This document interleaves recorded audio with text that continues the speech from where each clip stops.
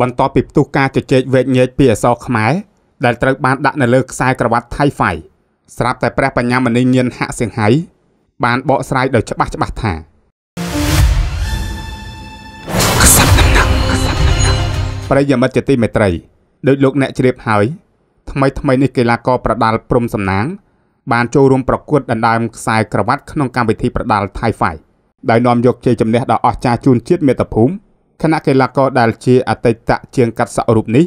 បានផ្ដួលគូប្រកួតឲ្យសន្លប់ក្នុងទឹកទី1ជ័យជំនះនេះបានកែប្រែមុខមាត់កីឡាករព្រំសំណាងលើសពី180ដឺក្រេ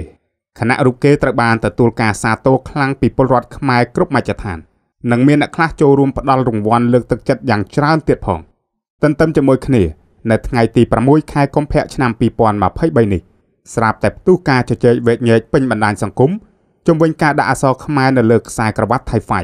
ចំពោះបញ្ហាអក្សរសាស្ត្រនេះនៅក្នុងភេកពុទ្ធសាសនាដើម្បីការអប់រំរបស់ព្រះបញ្ញាមនីញានហៈសៀងហៃបានបកស្រាយច្បាស់ច្បាស់ដោយខាងក្រោមអ្នកមោពុទ្ធិយៈសូមអ្នកមស្ការថ្វាយបង្គំចំពោះព្រះសម្មាសម្ពុទ្ធឧអាកសៈឧគឺ